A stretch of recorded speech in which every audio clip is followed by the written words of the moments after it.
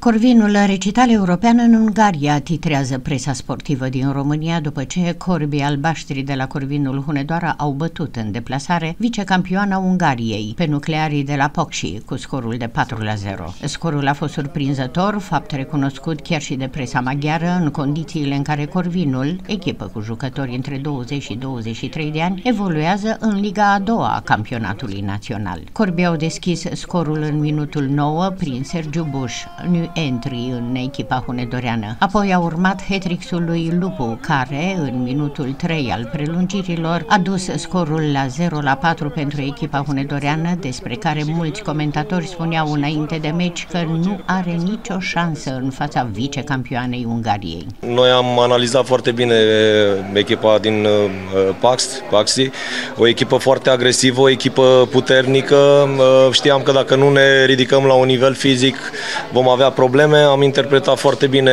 partitura tactică, uh, dar așa sunt meciurile de, de Europa League. Am trăit-o și eu pe pielea mea ca jucător.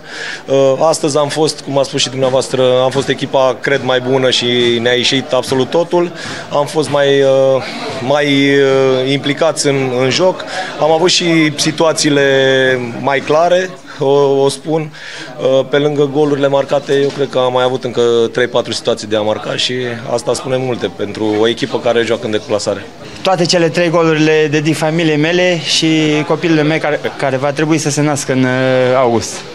Din trei gol, care a fost mai important? Uh, ce gândiți că a fost mai important punctul cheie din acest meci?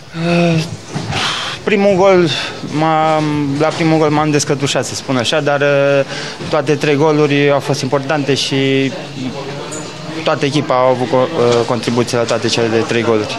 Uh, pentru noi performanța voastră a fost o surprindere, putem să spunem, dar pentru voi ce a gândit, cum ați așteptat și ce a primit din PAC și din voi? Sincer, pentru noi nu a fost o surpriză, să zicem. Am crezut de la bun început, de asta am muncit chiar și când am câștigat Cupa cu Oțelul, am muncit, aici ne este locul și nu este o surpriză pentru noi, cum am spus. Ai jucat într-o masca, uh, cum ești tu și uh, cum este din tot?